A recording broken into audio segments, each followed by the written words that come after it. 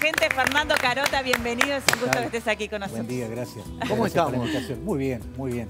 Con mucha fuerza, con mucho entusiasmo. La verdad que disfrutando de la parte de la campaña, porque la política tiene esas cosas. Tiene sinsabores, pero también si uno le busca la parte positiva, ese contacto con la gente y el entrar en la arena política, para mí realmente es una cosa que disfruto todos los días. Ahora, Fernando, ¿cómo se surgió esto? Pues la gente se sorprendió muchísimo, ¿no? Cuando parecía que, Edgardo iba a ser el único candidato por el partido de la gente, salió tu precandidatura, ¿cómo fue? sí, a ver, yo creo que esto fue naturalmente resultado de lo que vino pasando en el partido en las últimas semanas y en los últimos meses, y bueno, el grupo de gente que me acompañaba por ahí entendió de que había que promover una precandidatura alternativa para que no se siguiera yendo gente del partido, pues ya se había ido más que suficiente cantidad de gente y había gente que había quedado en el partido de la gente, tal vez no convencida del liderazgo de Novik y entendía que tenía que surgir otra, otra figura. Y bueno, como que ahí tomamos el riesgo, porque esto también es tomar el riesgo, ¿no? Y es un tema de responsabilidad y es un tema de seriedad. Yo ayer escuchaba a Caetano este, cuando hablaba del tema de cuando uno le pide al, ciudadano el voto y con la seriedad que debe hacerlo. Hablaba de Sartori específicamente. Y lo que significa realmente pedir el voto al ciudadano y el respeto que debe haber en esa relación con el ciudadano. Y bueno, con esa seriedad y con esos valores encaramos esta, esta campaña. ¿Por iniciativa propia o, fue pedido? Mira, eh, veníamos viendo y analizando todo lo que pasaba en el, partido, este, conversando con, el equipo, con la gente más cercana. Y bueno, y finalmente sucedió sobre los primeros días de abril que tomamos esa, definición. Pero yo creo que vuelvo a lo mismo, hay que despersonalizar al partido y por eso esta fue también una decisión de equipo. Y estamos tratando de trabajar para que en los próximos años se vea el partido como un conjunto de ciudadanos. Porque en definitiva es eso. Ahora, el sueño de, la política, de ser presidente, viene desde chico, ¿no? De armar un gran refugio. Era, una de tus... Eso fue un poco el motor, ¿no? Eso fue increíble. Este, si hay alguna exnovia mirándome por ahí, con muchas, con muchas este, lo he hablado, pero muchas veces cuando íbamos a algún lado, teníamos algún espacio, siempre decía, si soy presidente, una de las cosas que quiero hacer es que no haya animales, que no haya perros en la calle, que no haya gatos en la calle. Quiero hacer un gran refugio este, subvencionado por el Estado. Te estoy hablando ahí de 15, 16 años. Eh. Así que bueno, 30 años después estamos en esto, obviamente con otras preocupaciones y con otras urgencias que son mucho más. Ah, pero ¿cómo visualizabas en ese momento? O sea, ya el gusto por, es, por ahí, porque tirar esas frases y llegar a este momento, cuando mirás para atrás y sopa, Sí, a ver, nunca en mi, familia me inculcaron la, política, pero mi padre estuvo de alguna forma vinculado y como que lo viví muy de cerca. ¿El Partido Colorado estaba vinculado él, sí? En el Partido Colorado con el sector de aquel momento de Sanguinetti. Es más, este, yo a veces cuando empiezo a contar me río porque me acuerdo que en literatura, en quinto o sexto año, hablábamos de un poema de Baudelaire, de las flores del mal, que empezaba diciendo, yo tengo más recuerdos que si tuviera mil años. Y cuando uno se pone a contar, yo tengo 47, pero parece que tuviera muchos más. Pero recuerdo por el año 82, cuando hubo elecciones internas, yo tenía 11 años. Y había tenido un accidente de tránsito, me había quebrado tibia y peroné, tenía una bota de yeso hasta aquí arriba, hasta la ingle, tres meses, no era esta época, era otra. Y se ve que en mis casas los tenía ya muy cansado. Y venían las elecciones internas y mi padre trabajaba para la lista de sanguinetti, que era la ABX. Entonces se les ocurrió poner un puestito en la puerta de mi casa para que yo distribuyera listas. Ah, mira. Y ese fue mi primer contacto con la política. Ahí Sanguinetti después me mandó una lista autografiada agradeciéndome este, la labor y todo lo demás. Y después ya siguió con las elecciones nacionales cuando vino la apertura de la, de la democracia, este, que me reía porque siempre me gustó mucho la comunicación. Y ahí había nacido el Correo de los Viernes, que sigue existiendo que era el semanario este, del Foro, bueno, después fue el Foro Ballista, pero que era del Partido Colorado. Y mi padre me decía, bueno, vos llevás las noticias al correo para que las publique. Entonces todos los actos partidarios había que ir, salía los viernes, por ahí en el miércoles o el martes, con las noticias escritas a máquina. Yo me dedicaba a escribirlas, había hecho dactilografía, iba con eso a correo los viernes y era el encargado de comunicación, digamos, de los clubes de mi padre con el correo. ¿Y en esa edad fue también el contacto que tuviste con el que era intendente por el Partido Colorado, Aquiles Lanza? Uh, eso fue, fue, fue tremendo, lo de Aquiles Lanza, este, y lo recuerdo con, grato cariño. Eh, si bien fue un periodo corto que él gobernó Montevideo, pero lo que me pasó allí fue que gana la intendencia, y yo había tenido un accidente de tránsito en la Avenida Rivera, producto de que la Avenida Rivera en aquel momento no tenía semáforos, era de doble mano, este, no lo había pasado bien. Y era un lugar donde había muchos accidentes, no solamente el mío.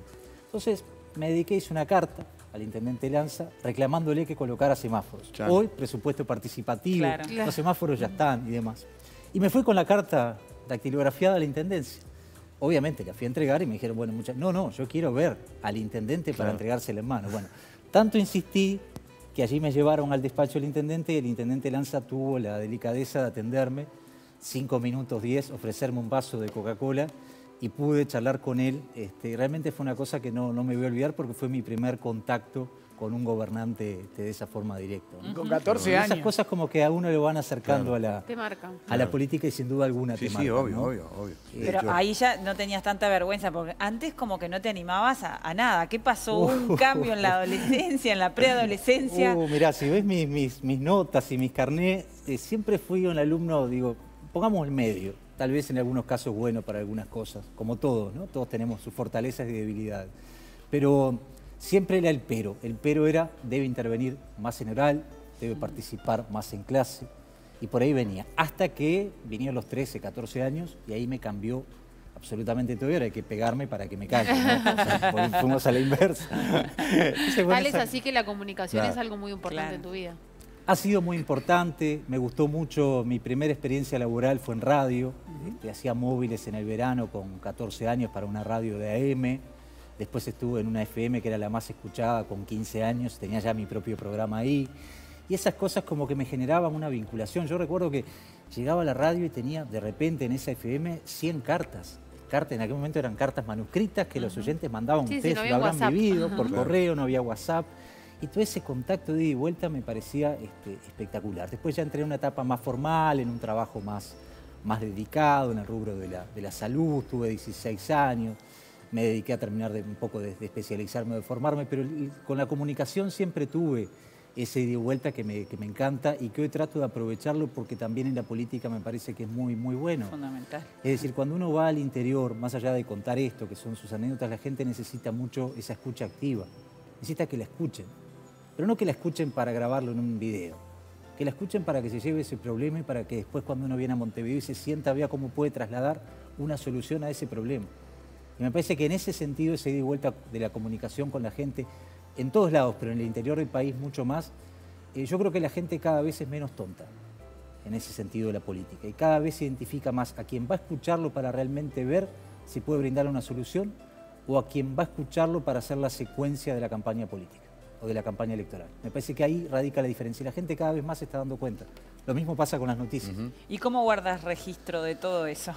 De todos los pedidos de todo el país. Mira, generalmente lo que hago es este, entre un departamento y otro, cuando tengo giras que tengo en un departamento un día y al día siguiente en otro, cuando vuelvo al hotel o a donde me quedo, tratar de registrar las principales cosas que a veces no quedan grabadas en un, en un- en un video. Y generalmente quedarme con el contacto de esa gente. Eh, hoy leía por ahí que el senador Michelini este, estaba contestando por WhatsApp los mensajes. Es algo que yo hago desde el año pasado, desde el mismo día que llegué a la política una transmisión por Instagram una vez por semana hace 42 semanas, donde dedico una hora a contestar sin filtro lo que me quieran preguntar. Prendemos ahí la transmisión en vivo y participa gente que puede ser del partido. ¿Hay un día ¿no? predeterminado? Los jueves, Los jueves. ¿Y el horario? de 21 a 22. Y allí surgen todo tipo de preguntas. Pero me parece importante ese registro de en realidad cuáles, que muchas veces los problemas coinciden Claro. y otras veces Sí, eso te iba a preguntar. Imagino que deben haber muchos que que... otros puntuales, ¿no? De cada ¿Y qué es lo que más reclama, lo que más pide? ¿Cuáles son las necesidades de la gente? empleo, inseguridad, pero creo que hoy el empleo ya pasó. O sea, ¿La inseguridad está por encima del empleo? No, creo que el empleo está por encima Sí. de la inseguridad. Creo que no hay quien no tenga en su casa, en su familia, entre sus amigos, alguien que haya perdido el trabajo. Ajá. Y cuando uno pierde el trabajo, ahí empieza a perder una serie de cosas. Yo siempre digo, el que tiene un problema de desempleo, se levanta con el problema de desempleo, va al supermercado con el problema de desempleo, se Sí, sienta... eh, el, no tener, el no tener trabajo te genera también una inseguridad. Exactamente, exactamente, de otra forma. Y eso me parece que tenemos que darle una solución que no sea demagogia y tiene que ser una solución rápida, al alcance de la mano y que tiene que estar dada el primero de marzo. ¿Y cómo se, cómo se logra? Primero, no prometiendo lo que no se puede cumplir. Me parece que en la vida política, si empezás prometiendo lo que no puedes cumplir, venís muy mal.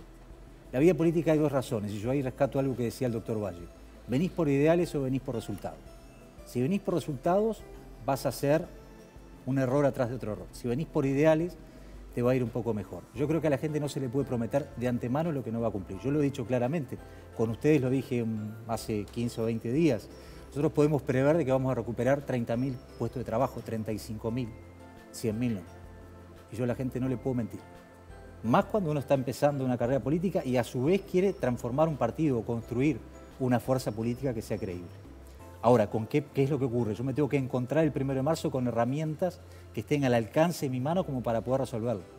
Porque la gente me va a dar 30 días, 60, 100, no mucho más. ¿Y crees que están esas herramientas? ¿O no divisas el tablero? No, ¿Faltan algunas? No, por supuesto que están dadas. Yo creo que recursos hay. Yo abogo por un Estado muchísimo más chico del que tenemos. Por eso dije, lo dije aquí, lo anuncié en este mismo programa hay que mantener la asistencia social, pero hay que eliminar el MIDES y seguramente habrá que eliminar otro ministerio y seguramente habrá que reducir el Estado dando un mensaje desde la propia clase, si quieren llamarle, que a mí no me gusta el término, pero desde el, grupo, desde el propio grupo de gente de la política. Ahora, ¿cómo se reduce? ¿Dónde va toda esa gente que de repente está trabajando en todos estos lugares donde tú decís? ¿y qué se hace con los proyectos del claro. Eh, yo lo que planteé allí claramente es eh, empoderar al Ministerio de Trabajo, porque creo que el foco de la emergencia nacional en los próximos años está en el Ministerio de Trabajo. Y por tanto me parece que mucha de la asistencia social, así como en el 2005 el PANES estuvo centralizado en un determinado sector, en este momento tiene que estar centralizado en aquellos que quieren trabajar y tiene que estar apoyado o subsidiando empresas para que en definitiva contraten gente. Que de hecho no digo que hoy el Ministerio no lo esté haciendo. Con el tema de la ley de 19689 de empleo de personas jóvenes y mayores de 45, está brindando un subsidio. Pero eso me parece que hay que profundizarlo. Y yo creo que recursos siempre hay. Si tuvimos recursos para pagar 67 millones de dólares por parte del BPS a personas que fueron afectadas por la dictadura, si tuvimos 90, 100, no se sabe cuánto terminó la obra delante de la arena, recursos siempre hay. Y si hacemos una chique de los gastos del Estado, donde por ejemplo en el Parlamento se gastan 5 millones de dólares por periodo en partidas de prensa que nadie gasta en prensa, porque si las gastaran en prensa yo creo que la prensa no estaría como está. Si gastamos 500 mil dólares en viajes por parte de los parlamentarios, vaya a saber a dónde y por qué. Y empezamos a sumar todo eso, sin duda que dinero hay. Si reducimos el tema de la, de la mm, flota de vehículos oficiales y dejamos solamente aquellos que son indispensables, si no renovamos vehículos oficiales, salvo lo que tenga que ver con policía, salud pública, servicios realmente esenciales, si no seguimos empleando gente en el Estado y vemos la forma de que haya empresas privadas que generen inversión genuina y que tengan reglas de juego claras, sin duda alguna que recursos vamos a tener. El problema está que en esta gran confusión en la cual vivimos, difícilmente lo tengamos.